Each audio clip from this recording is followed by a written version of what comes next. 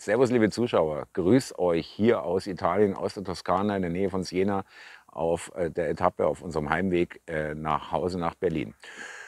Ja, da schaut man sich in der Ferne sozusagen äh, die Nachrichten an, schaut man sich auf X, Twitter um und so weiter. Und es ist einfach wirklich äh, mittlerweile so, dass an jeder Ecke ja, oder fast jeder Tweet irgendwo äh, durchscheinen lässt, dass es hier wirklich einem Ende zugeht. Ja die grüne Phalanx, diese grüne äh, Vorherrschaft, äh, äh, wir können zusehen, wie sie endet und schwindet.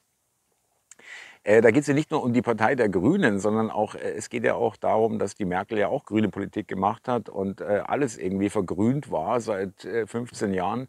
Und ähm, jetzt äh, natürlich die Leute äh, noch irgendwie zur CDU und zur SPD flüchten. Ja, es gibt eine Linksflucht, also vielleicht äh, nicht zur SPD, aber äh, zur CDU hin. Äh, dadurch erklärt sich ein bisschen auch die erklären sich die Zahlen für die CDU, aber äh, die Leute werden feststellen, okay, die reißen es auch nicht, weil es wird hier richtig duster, liebe Zuschauer. Ja, nur noch mal ganz kurz ein paar Fakten, sage ich mal. Ja, die hier so rauskommen. Da sind wir zum Beispiel beim IFO Geschäftsklimaindex. Ja, ähm, und zwar ist der, in vierten, in der zum vierten Mal in Folge gesunken. Ja? Und das äh, ist ein großes Alarmzeichen. Sogar die großen äh, Schranzenmedien sind inzwischen da ein bisschen aufgewacht und haben äh, gemeldet, ja okay, wir stehen vor wahrscheinlich einer wirklich gewaltigen Rezession, vor einem gewaltigen Niedergang. Gut, dass wir das schon seit Jahren sagen. Ja? Äh, und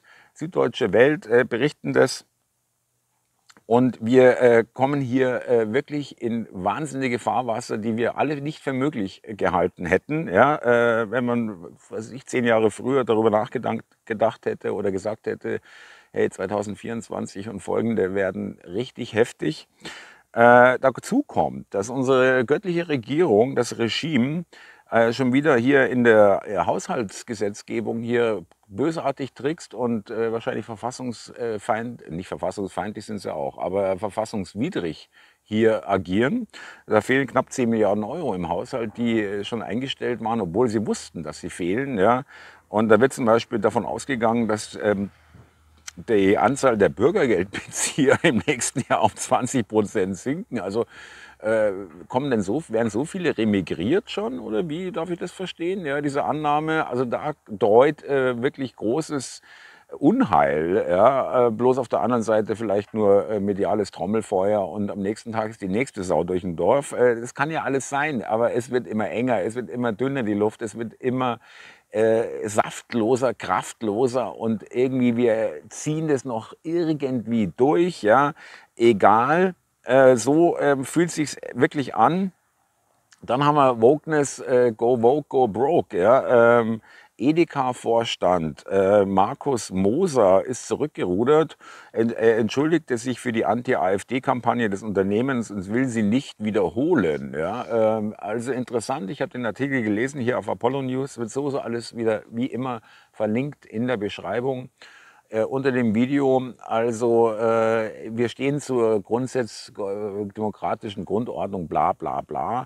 Aber jeder, äh, wir wollen nicht belehren und wir wollen, jeder soll das machen, äh, was er will und jeder soll bitte bei Edeka einkaufen. Also entweder weiß ich nicht, ob da wirklich jetzt so viele Leute das boykottiert haben, ja, ob die das gespürt haben oder ob es eher von den genossenschaftlich organisierten Filialleitern kam, ja, die da auf eigene Rechnung produzieren äh, bzw. Handel treiben. Und da gab es ja auch Meldungen von und einen Brief auch, der äh, kopiert äh, von vielen an die Edeka-Zentrale geschickt wurde, äh, dass sie mit Politik nichts zu tun haben wollen. Sie sind ein Supermarkt und da soll jeder einkaufen gehen. Und äh, ja, da hat es den Edeka-Vorstand offenbar irgendwie dann doch, äh, war dann doch ein bisschen zu viel. Bloß es ist zu spät. Ja? Du hast dich doch schon positioniert, du hast doch schon gezeigt, was für ein Demokrat du bist. Ja? ich werde jetzt nicht Edeka boykottieren, allein schon aus dem Grund, weil ich da gar nicht einkaufen gehe, weil der nicht bei mir in der Nähe liegt. Ich behaupte nicht, dass ich hier zehn Kilometer mehr auf mich nehmen würde, um äh, einen Laden zu boykottieren, das ist dann irgendwann, äh, wird es dann auch komisch. Aber äh, auch das ist ein Zeichen für den Rückzug, für die äh, offenbar äh, merken sie, dass sie gesellschaftlich einfach nicht äh, akzeptiert werden mit ihrer Haltung, mit ihren Belehrungen, mit ihren äh, äh, dauernden Einbimsen gegen rechts, gegen AfD für Vielfalt und äh, braunes, nee, blaues Gemüse oder Obst äh, ist giftig und so weiter. Es ist so irre und langsam schlägt das Pendel, wirklich ganz langsam, schlägt das Pendel zurück. Dann haben wir noch hier ähm, die Grünen, äh, du bist 16, äh, du willst wählen, wir wollen das auch. Wahl ab 16. Das war, glaube ich, 2019 die Kampagne 2020. äh, das, davon hat man jetzt übrigens aber auch nichts mehr gehört, ja, von dieser jungen Wählerkampagne. Alles total still. Sie wollen die Jungen nicht mehr, weil die Jungen sie nicht wählen. Ja? Die Jungen wollen sie nicht mehr. Das wurde jetzt ganz deutlich in Thüringen, Sachsen und Brandenburg wirklich köstlich. Ja. Das war, ist schon mal ein knallharter Bumerang, der dann zurückkam, weil äh, über 30 Prozent der äh, 16- bis 24-Jährigen, glaube ich, in Brandenburg AfD gewählt haben und nur 7 Prozent Grün. Also das kann man nun wirklich vergessen. Wer wählt denn die Grünen? Die fetten, ausgefressenen, saturierten und satten äh, Vorstadtbewohner oder schicken Prenzlauer Berg äh, äh, Altbauten, so wie ich einer bin. und, äh, und sonstige Milieus in Großstädten oder am Rande von Großstädten mit Tesla vor der Tür und äh, Solar auf dem Dach. das ist so geil. Das sind die Wähler der Grünen. Aber um das noch ein bisschen zu vervollkommnen mit der Wahl äh, in Brandenburg, in Potsdam, äh, ist ja sind ja die Grünen auch gescheitert an einem Direktmandat. Das Hoffnung, das war da hatten sie volle Hoffnung, dass sie das kriegen können, weil Potsdam so dermaßen grün verseucht ist, dass der dahin kreist. Ja. Aber selbst da hat es der SPDler geschafft, ähm, weil ich vermute, die Grünen äh, behaupten ja, ja, das ist, äh, war eine blöde Strategie mit der Leihstimmen-Geschichte, um die AfD zu verhindern. Das mag zum Teil stimmen, aber ich glaube nicht, dass es die ganze Wahrheit ist. Ich glaube eher, dass es auch daran liegt, dass äh, da nicht jeder Millionär ist in äh, Potsdam, äh, dem es vollkommen wurscht ist, ob er 2, 3, 4, 5.000 Euro mehr im Monat für irgendwas insgesamt an seinen Lebenshaltungskosten bezahlt.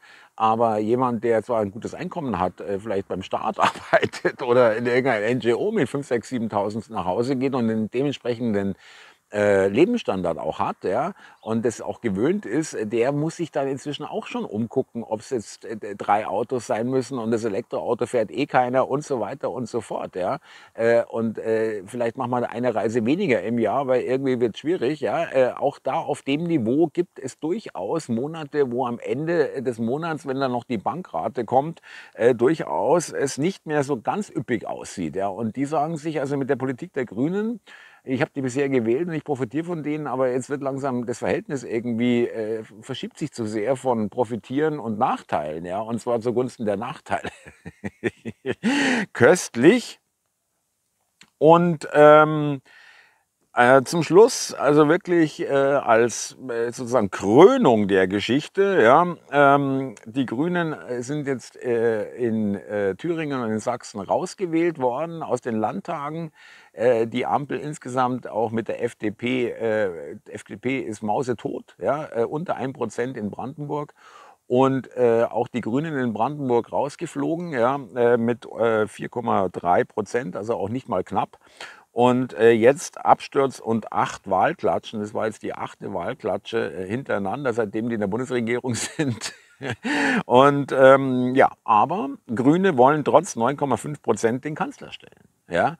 Und da seht ihr, äh, wer sich traut, sowas zu sagen, äh, dem ist wirklich alles scheißegal. Ja? Äh, wirklich, der sagt sich, wir hauen hier alles raus. Wir hauen morgen raus, dass wir vom Mars Energie bekommen.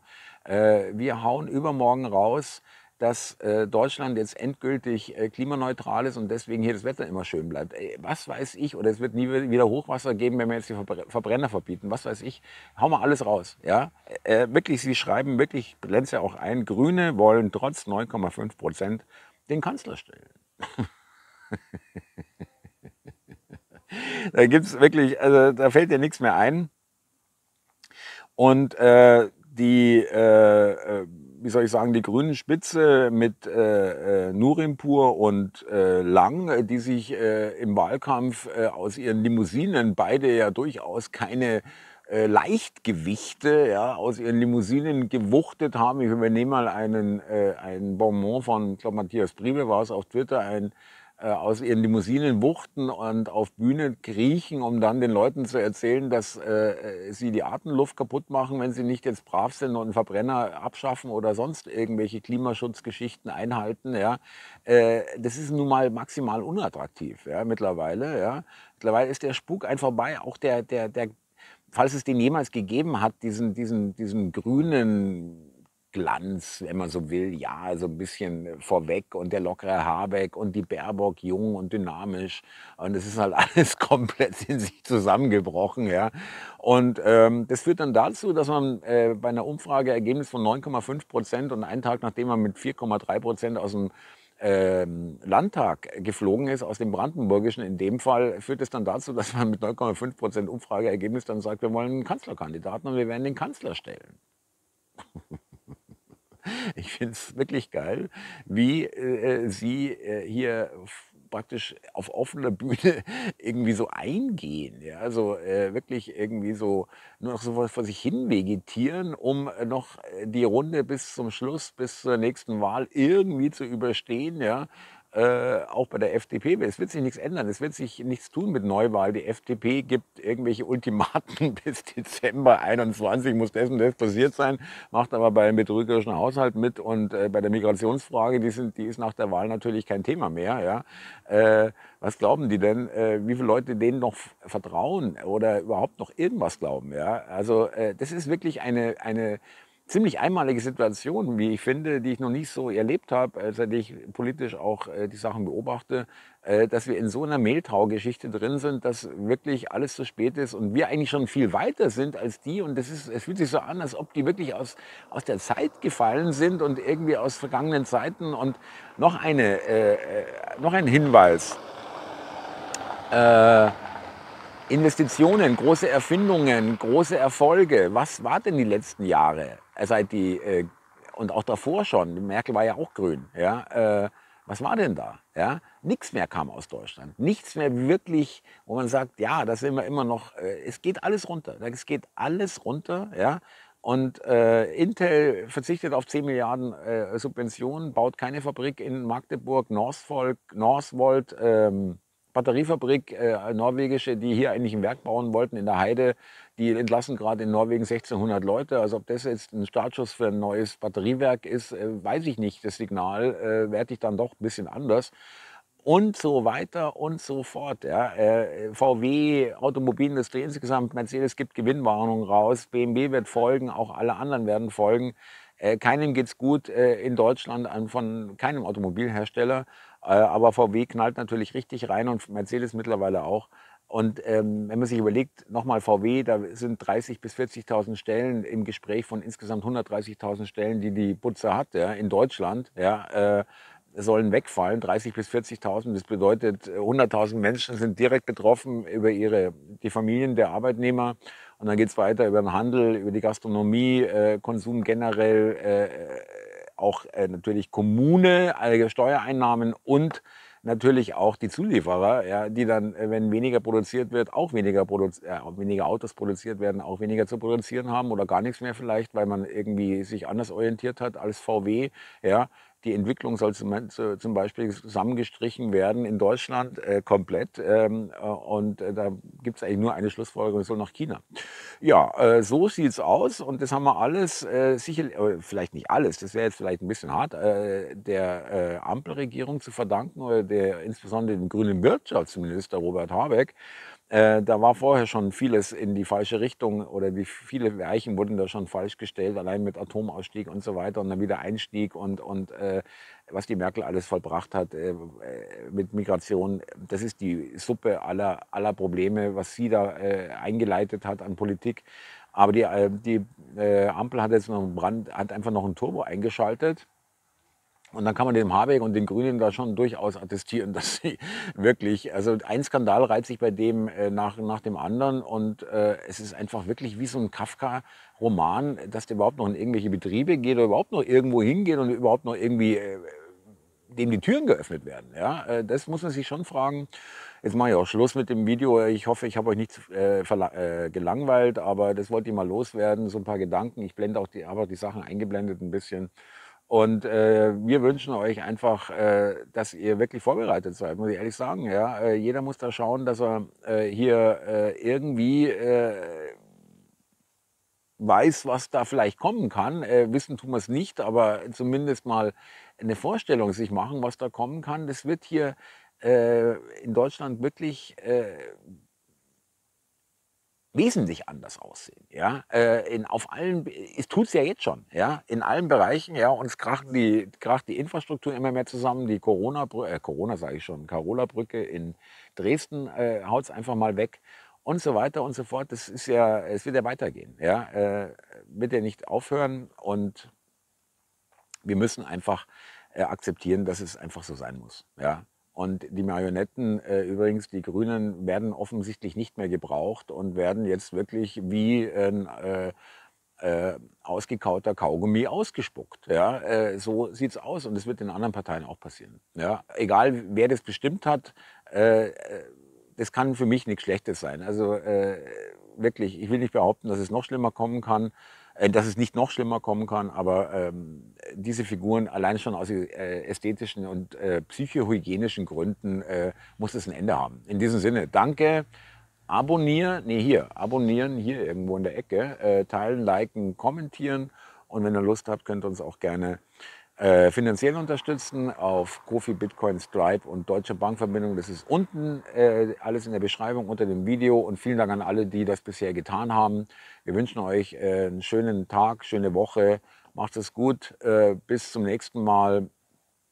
Ball der Vernunft will ich noch an äh, darauf hinweisen, am 12. Oktober 2024 in Berlin, am Samstag. Auch da findet ihr weitere Infos in der Beschreibung. Vielen, vielen Dank fürs Zugucken und Zuhören. Fühle mich immer wieder geehrt, äh, wenn wirklich Tausende von Leuten äh, äh, die Videos gucken und aufrufen und die tollen Kommentare dazu schreiben und äh, wir hier wirklich ein bisschen in unserer kleinen Welt hier was bewegen und ein bisschen die Leute auch animieren.